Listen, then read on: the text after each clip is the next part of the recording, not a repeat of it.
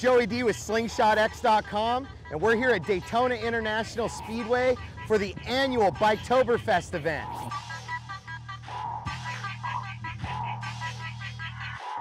We came out to Daytona with Polaris Slingshot, not only to unveil our new Slingshot X video car, which will be driven by Tanner Faust, but to also check out this awesome event and see everything that Biketoberfest has to offer.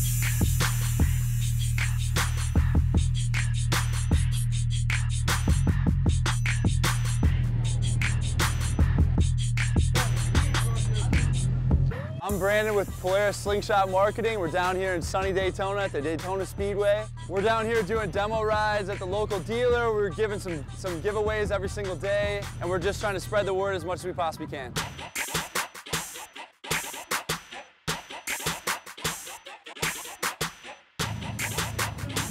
It's everything that I've been looking for. It's comfortable, and it, you can go as fast as you want.